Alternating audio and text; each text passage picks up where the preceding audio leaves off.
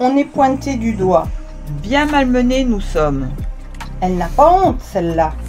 Sont des mots bien trop souvent entendus. Isolés, nous le sommes constamment. Ténacité à se dévoiler sans se cacher. Être fidèle à ce que l'on est pour continuer à lutter contre la discriminalité.